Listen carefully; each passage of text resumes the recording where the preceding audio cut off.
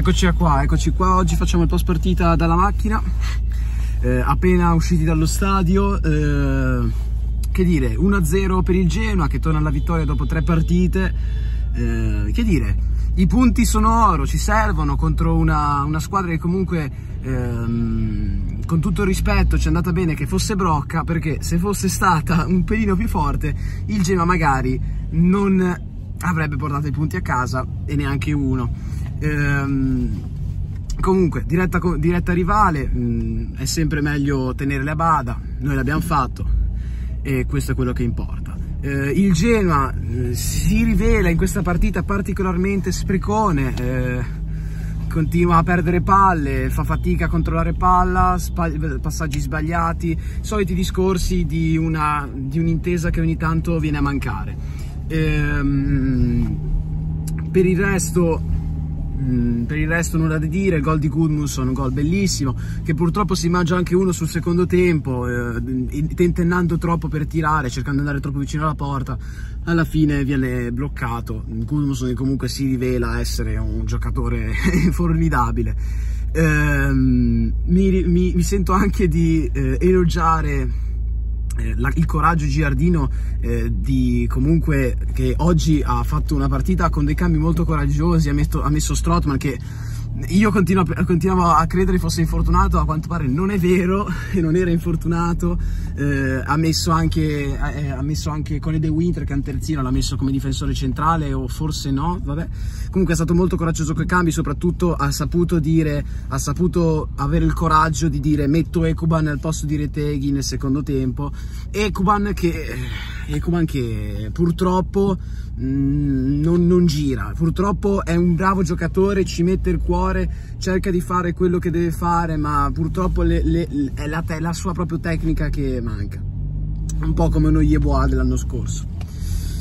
E invece riguardo all'avversario posso, posso solo dire che ci è andata bene. Eh, eh, la Serenitana aveva molti giocatori di movimento che correvano, che mettevano spesso in difficoltà eh, il nostro centrocampo. Fortunatamente la difesa era molto attenta in questo periodo, in questa, in questa partita, eh, e quindi ha saputo tenere a bada um, i soliti, i, sopra, su, i prim, primi tra tutti DA, che è stato molto pericoloso, però mi è piaciuto molto. Eh, come top mi sento di nominare, oltre al coraggio di Giardino, mi sento di nominare anche ovviamente Gudmundsson, che è, mi sento di dire che è ancora un po' sottotono, non, non nel senso che non riesce, cioè, lo vedo ancora che fa un po' di errori, che per il, per il potenziale, per ehm, quello che ci si aspetta da lui può essere un po' poco, ma la palla l'ha messa dentro, nel centrocampo continua a fare la differenza anche se è un attaccante e quindi top per forza.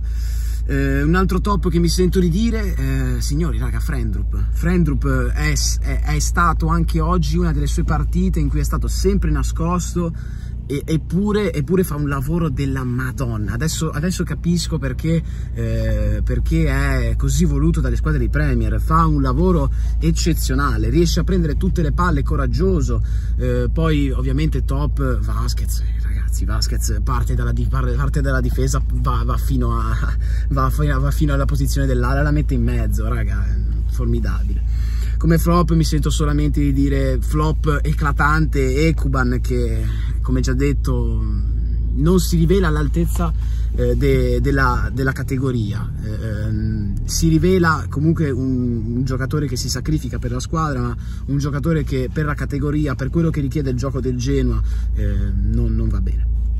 Ehm, per altri altri flop grandi sinceramente non me ne vengono in mente.